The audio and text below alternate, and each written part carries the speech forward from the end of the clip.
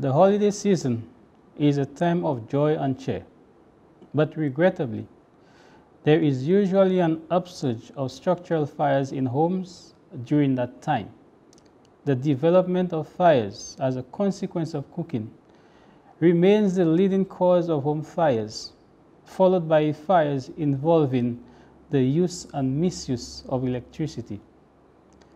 This year to date, the fire service has responded to a total of 711 fires, of which 98 were structural and 29 were electrical.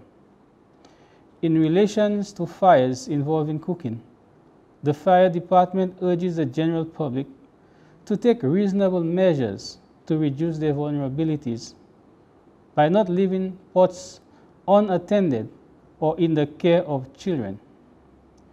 Keep the stove top clear of towels, mittens, or anything that is combustible. Avoid the use of water on fires involving oils or fats, or attempt to pick up a pot on fire. The latter can be safely controlled by shutting off the stove's burner and smothering the pot with a suitable lid. In relation to electricity, ensure that your house electrical installation is safe. Have the electrical wiring inspected every four to five years. Limit the use of extension cords and electrical adapters as they may become overheated and start a fire. Avoid overloading of outlets. Plug only one device per outlet unless the load can be verified. Avoid using electrical devices and appliances with defects, especially fans and air conditions, as they are the leading cause of house fires.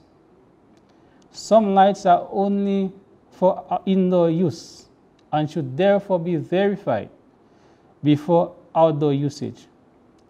Additionally, Christmas lights should be carefully selected and installed to avoid potential fires. Above all, have a comprehensive plan for fire emergencies, which may entail the installation of smoke alarms at homes, having a suitable fire extinguisher in the house, and learn to use it effectively having at least two exits out of every room.